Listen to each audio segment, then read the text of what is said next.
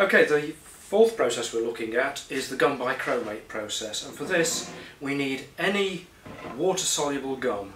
I'm using gum arabic because this this is the classic gum, this is the one that was used originally but um, any other water based gum can be used. Um, right, so we take first of all one teaspoonful of gum arabic like so and pour it into the pot. Now then to this we're going to add a colour. You can use any colour you like. This is the beauty of this process. The colour of the previous processes has been determined by the process themselves, but with this one you can use any colour you like. And I'm going to use red poster paint. You can use watercolour paint, you can use gouache or poster paint. Providing it's a water-soluble paint or colour, it's perfectly fine.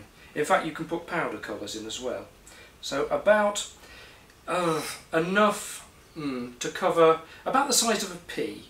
If, if, if you dip uh, a coffee stirrer into that, maybe about half an inch, quarter of an inch, half an inch on the end of the coffee stirrer will be enough. And then what I'm going to do is I'm going to scrape that into there and I'm going to mix the colour into the gum. Try and get as much of the gum, of the colour I can into the gum. Okay, oops.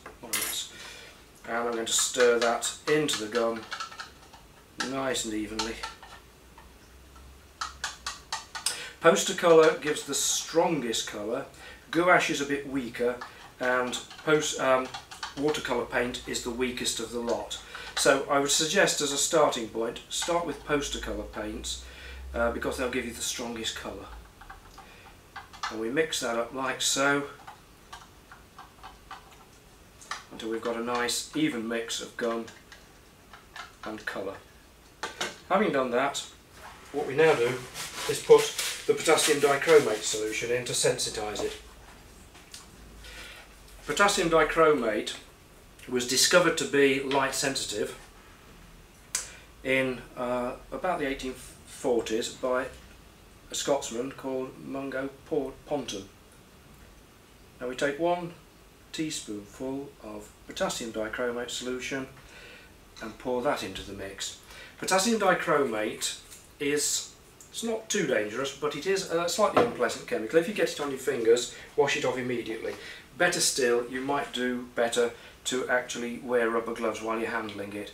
It does tend to cause blisters, but it's providing you're sensible with it, it won't be a problem. Okay, so I'm going to put that potassium dichromate into the mix and give the whole thing a stir to mix the dichromate. What the potassium dichromate does is to harden the, the gum selectively where it's exposed to light. So those parts of the paper that are exposed to the most light will harden the most and they won't wash away at the end of the process. So there we have it. That's the sensitive mixture. So now I'm going to coat the piece of paper. Right, here we go.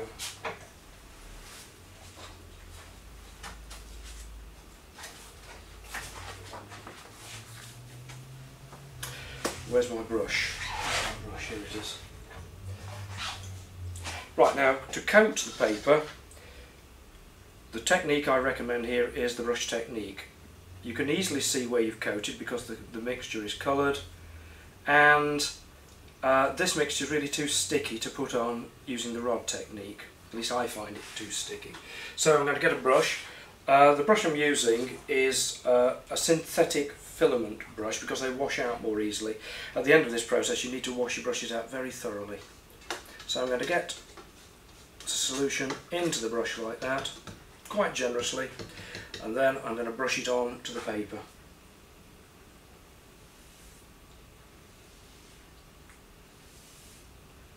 Again, brush it on with long, even strokes, spread it out evenly, brush two ways, like that.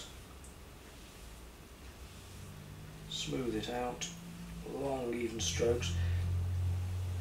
You can leave a sort of rough edge if you want to, as you're brushing it on, but when you're finished, smooth all the brush strokes out from one end to the other in a nice even sweep.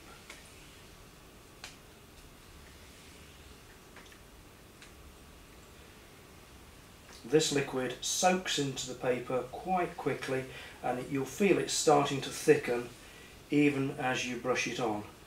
So don't waste too much time brushing it out. Okay, there we are. We've coated that piece of paper, so that now is going to go into the dryer. Okay, and the final stage of the gum bichromate process is to expose the paper. So again, we take a clip frame, we put the sensitised paper on like that, then we put the negative on top,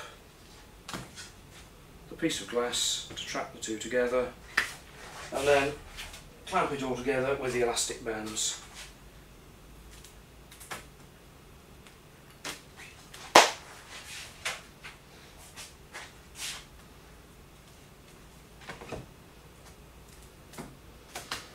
And there we are, that's ready. Now, again, this will take maybe six to eight minutes out in bright sunlight. You have to judge, learn to judge the exposure both from the density of your negative and the intensity of the light, but bright day, moderately dense neg, I would say about eight minutes. So I'm going to put this outside now to expose.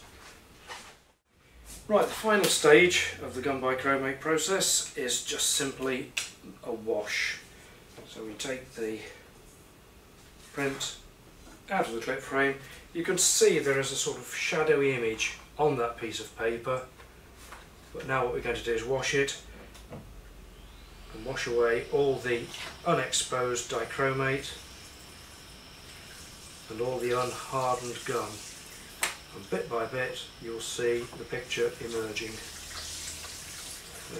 Okay, so we now just wash the print in cold water for a few minutes to wash away all the unreacted potassium dichromate and all the unhardened gum and as we do so you'll see the picture emerge. Keep washing until the orange colour of the dichromate has all disappeared and you'll be left then with a, an image in hardened gum and the colour that you put in.